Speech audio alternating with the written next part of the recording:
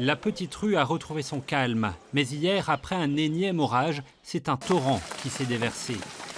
Sur cette vidéo, le début du phénomène. En temps normal, à chaque pluie, les parents et les enfants de l'école du Sacré-Cœur utilisent pour traverser cette petite passerelle en bois amovible.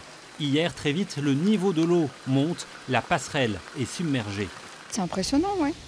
C'est de l'eau marron, c'est de la boue, c'est. euh, Il y avait plein de cailloux, on entendait les cailloux aussi. Les parents entendaient les cailloux qui, qui glissaient, donc ça, fait un petit peu peur, quoi, parce qu'on se dit si on traverse à pied et on se prend un caillou. euh, Faute de passerelle, la sortie de l'école hier s'est déroulée dans les camions pompiers.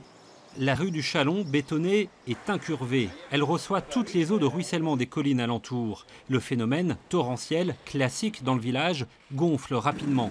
Une réflexion est en cours avec l'agglomération pour trouver une solution à ce risque, car des routes sont aussi coupées régulièrement dans la commune.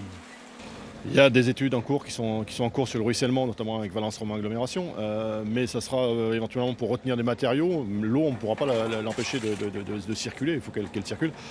L'idée, c'est d'arriver à retenir des matériaux pour qu'il y ait moins de galets qui, circulent et qu'il y ait moins de, dégâts et de, nettoyage à faire derrière.